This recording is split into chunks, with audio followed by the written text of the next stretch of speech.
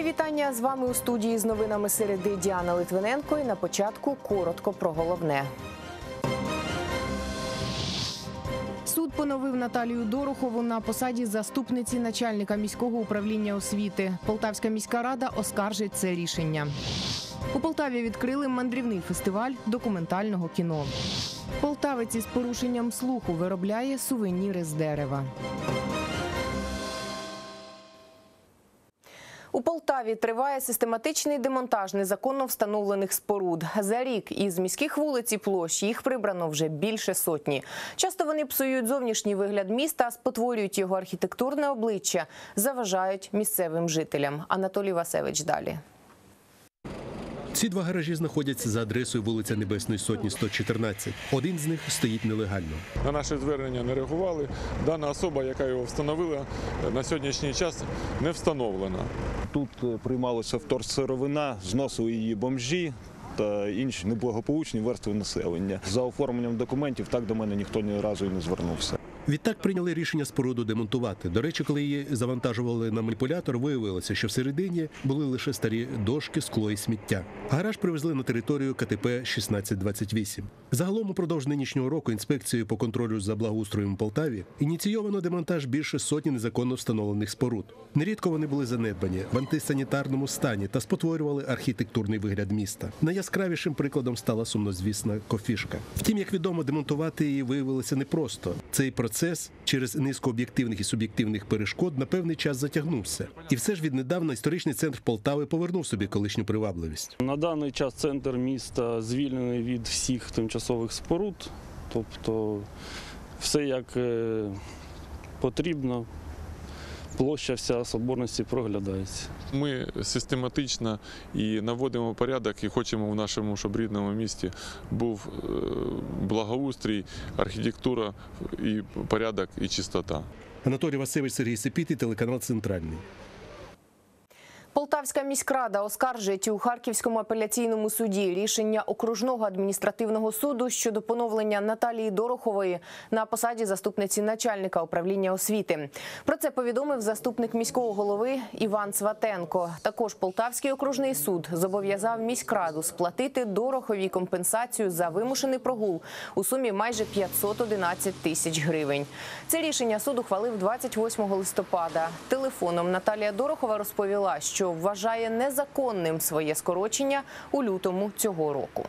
оскільки я людина є не пенсійного віку, оскільки я людина, яка працювала начальником управління освіти, людина, яка має вищу освіту в галузі державного управління і скорочена, причому не запропоновано було ніяких інших посад.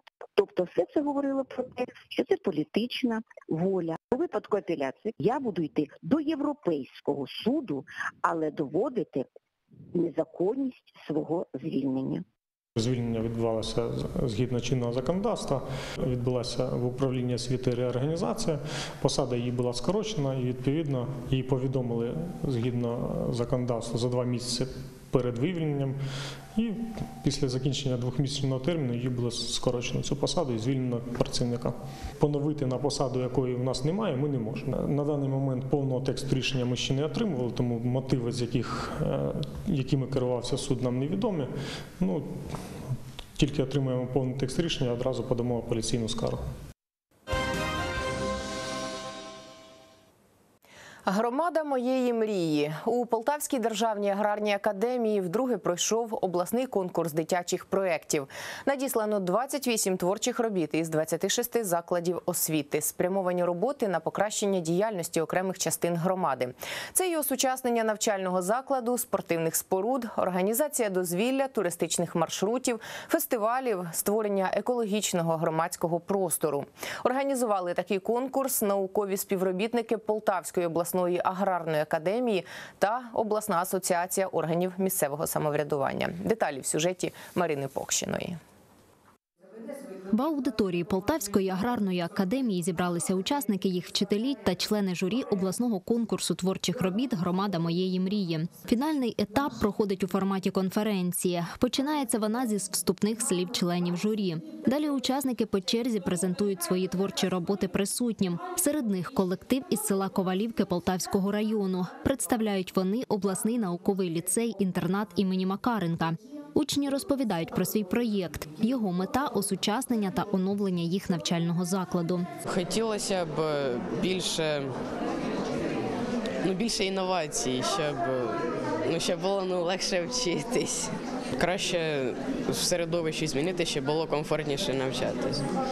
Ну і тоді буде хист до навчання через середовище. Учні один за одним упродовж п'яти хвилин презентують роботи. Діти з Хорольської гімназії розповідають про смарт-туризм у їхньому краї. Мовляв, район багатий на історичні пам'ятки. Утім, потрібно уміти правильно їх демонструвати. Тоді й охочі на них подивитися знайдуться. різні електронні табло, е, електромобілі. Туристи мають е, бути більш е, заохочені, якщо е, вони зможуть користуватися певними додатками, в якому зможуть замовляти квитки на різні заходи в нашому районі і так далі. Можуть користуватися доповненою реальністю у музеях. Ми вважаємо, що саме наш проект допоможе підняти популярність хорола на рівні Полтавської області та навіть всієї України.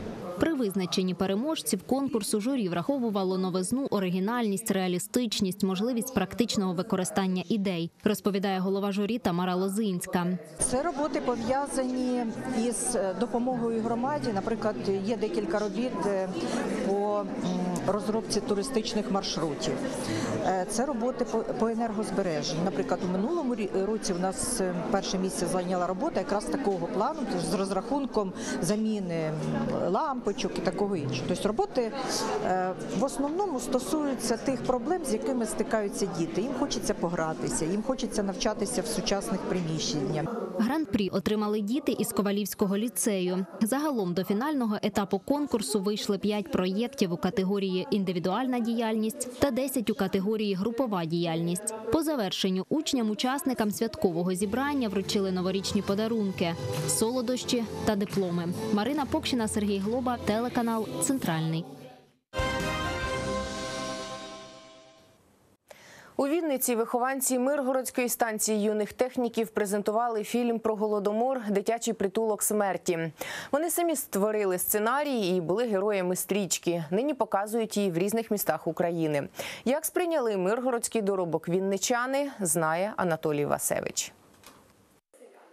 Презентація миргородського фільму відбулася на запрошення Вінницької обласної універсальної наукової бібліотеки імені Тімірязєва. Проходила вона у рамках проєкту Без знання історії немає майбутнього. На презентацію завітали студенти, науковці, працівники бібліотек, вузів Вінниці, краєзнавці. Переглянувши фільм та поспілкувавшись із його юними творцями, вінничани залишилися задоволеними кінострічкою миргородських школярів. Перше, я зустрівся з тим, що висвітлювали конкретно історію дітей, тому що для нас важливо вінничан, адже саме наш професор Ілля Григорович Шульга досліджував історію дітей періоду голодомору. Це дуже важливий підхід, такий творчий висвітлення цієї проблематики. Вони на своєму прикладі показують, як молодь, сучасна молодь повинна цікавитися історією минулим і робити висновки, щоб не повторилося таке в майбутньому. Над робочою версією фільму миргородці працювали два роки. Втілити у життя повноцінний проєкт поки що не вдається через нестачу фінансів. Юні режисери і артисти сподіваються, що врешті знайдуться благодійники, які допоможуть реалізувати цю ідею. Поки що ж вони продовжують вивчати тему голодомору. Працюючи на тему голодомору, знайшла е, спогади деяких очевидців подій 1933 років у Полтаві. Часто декілька разів е, на добу проводилися облави на безпритульних дітей. Е, Їх ловили і замикали у товарних вагонах. Діти кричали, пручалися, крик стояв на пів Полтави. Після презентації фільму Дитячий притулок смерті творчу групу із Миргорода керівництво Вінницької обласної універсальної наукової бібліотеки запросило на міжнародну наукову конференцію. Усна історія, теорія і практика досліджень на сучасному етапі, котра відбудеться в середині жовтня 2020 року. Анатолій Васевич, Микола Марченко, телеканал Центральний. DocuDays UA 2019 мандрує Україною. Цього року найцікавіші документальні стрічки про права людини побачать мешканці понад 220 міст і сіл України. Полтавщина не виняток. Які фільми запропонували подивитися полтавцям, знає Юлія Хаврель. If you go behind a tree, you're, you're okay. You got cover.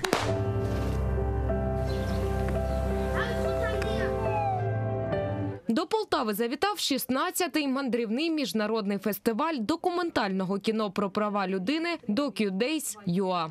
В рамках цього фестивалю ми показуємо декілька стрічок, і е, фестивалі в нас будуть як сьогодні, так і впродовж там е, е, двох тижнів грудня.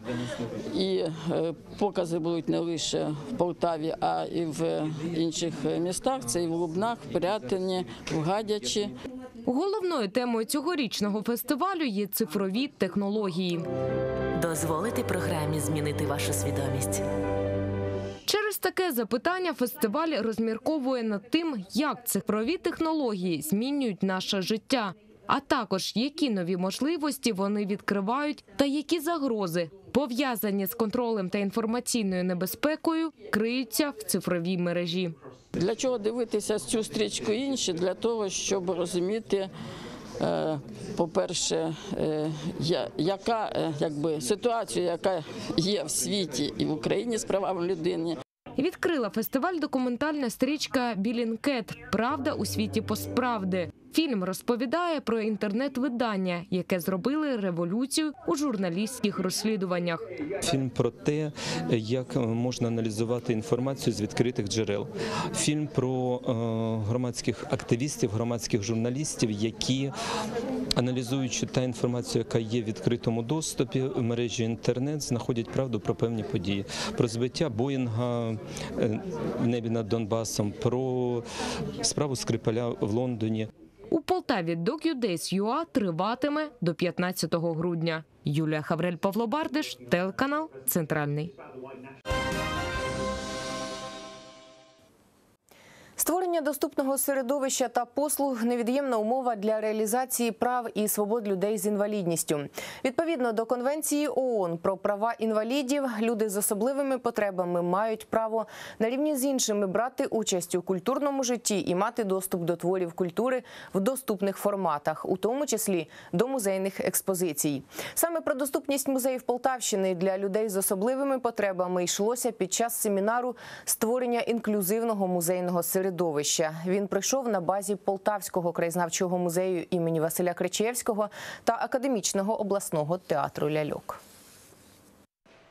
Розмова стосувалася основних проблем музейного простору. Переважно такі заклади знаходяться в будівлях, що є пам'ятками архітектури, мають багато сходинок і не мають ліфтів. Але головне не лише фізична доступність. Майже всі музейники практично не вміють доступно спілкуватися з людьми з інвалідністю. Зокрема, є категорія відвідувачів, для яких не потрібно створювати спеціальні фізичні умови доступності.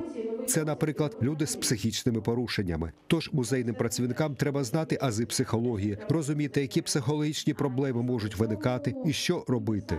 але не з медичної точки зору, а з точки зору регулювання і корекції себе як екскурсовода. Можливо, ви щось зробите неправильно. Голос, голос е, занадто високий, або ви занадто голосно розповідаєте, а постійно відволікаєте людину і просите дивитись на вас. А деякі психічні порушення, як, наприклад, спектр аутизму, вони одна з характеристик це людина не буде дивитись на вас, не буде дивитись в очі. Але якщо вона зайнята чимось іншим, проблеми немає. Вона все одно вушками на вас, і вона вас чує. А ось для роботи з незрячими відвідувачами Кіра Степанович пропонує методику аудіодескрипції. Тобто методика описування візуального контенту, динамічного чи статичного людині з тяжкими порушеннями зору, виготовлення тактильних моделей, тобто те, що можна потрогати руками, подивитись руками, що із сучасних речей можна використовувати для цього, якщо немає можливості або немає в фондах музею, або немає можливості придбати Інклюзія в музеї це не лише пандуси і таблички шрифтом Брайля. Це в першу чергу вміння працювати з людьми, зазначають учасники семінару. Ми знаходимося, зокрема, наше управління напередодні створення нової програми із розвитку культури, із розвитку Полтави туристичної, і маємо можливість закладати якраз е, і кошти, і людські ресурси готувати для того, щоб впроваджувати е, інклюзію до музейного простору Полтави. Е, В Полтаві ведеться ця робота. Полтавський музей історії Полтавської битви, літературно-меморіальні музеї є, май- маються пандуси, але безумовно, що вдосконалювати цю роботу потрібно. Тож в будь-якій країні музей це потужний інформаційний, освітній та культурний центр. Його адаптація дозволить ще більшій кількості людей сприйняти і отримати необхідну та цікаву інформацію. Сергій Блавацький, Сергій Сепіти, телеканал Центральний. Сувеніри з дерева виробляє полтавець Владислав Шоно. Чоловік має порушення слуху. Нині він працює гравером на одному із підприємств міста. Як Владислав Шоно створює дошки для нарт, шкатулки та картини, бачили наші журналісти. На відео цех з виробництва сувенірів із дерева. Працює 32-річний полтавець Владислав Шоно. У чоловіка порушення слуху. На підприємстві Владислав працює гравером. Ми вираховуємо розміри, створюємо комп'ютерну програму, і потім, коли узгоджується з замовником, ми програмуємо комп'ютер. Програмуємо станок, який робить виріб, що замовили. Потім шліфуємо, фарбуємо і відправляємо замовнику Делаем нарды разнообразные, не только с такими изображениями. Делаем вот такие шкатулки. Это был заказчик у нас из Чехии. Владислав Шоно каже, сувеніри з дерева виготовляє майже 10 років. Я працював на швейному підприємстві два роки. Потім звільнився. Людям з порушенням слуху роботу знайти складно. Керівництву це ускладнює спілкування, тому що чи крикнути потрібно, чи позвати, чи щось пояснити. А не всі хочуть писати це все ручкою. Якщо людина хоче чи має бажання вивчити елементи жестової мови, то далі контакт йде і все добре. Майстер гравіювання Оксана Мельник розповіла, разом із Владиславом працює півтора роки. Он разбирается, помимо того, что он разбирается в станках, он очень хорошо разбирается в компьютерах. То есть он может сам написать программу. Не обязательно для этого надо, чтобы я помогала ему. И он очень прислушивается к тому, как я слышу работу станков. То есть если я где-то услышала какое-то биение, какая-то звук неправильный, он очень четко тут же побежал, посмотрел, прислушался и все это проверил. За словами директора підприємства Бориса Акініна, всього у цьому цеху працює 5 чоловік. З них двоє робітників мають порушення слуху. Берем даже учеников из числа людей с порушением слуха, и они обучаются, вот у этих старожилов, у ребят обучаются 2, 3, 4 месяца, и потом самостоятельно работают. Ольга Гриненко, Павло Бардиш, телеканал Центральний. Це ще не всі новини, які ми для вас підготували. Про найактуальнішу інформацію міста і регіону у нашій рубриці Актуально.